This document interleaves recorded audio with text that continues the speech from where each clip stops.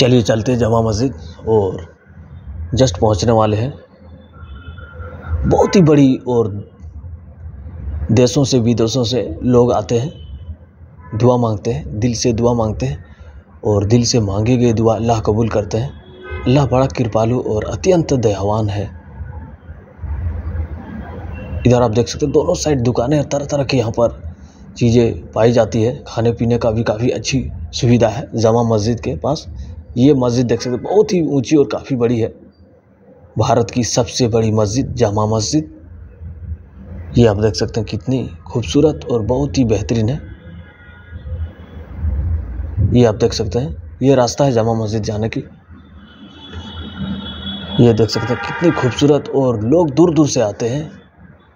बहुत ही अच्छी, अगर वीडियो अच्छी लगी होगी तो सब्सक्राइब कर दीजिएगा। ये रास्ता है जाने की। काफ़ी खूबसूरत और बेहतरीन।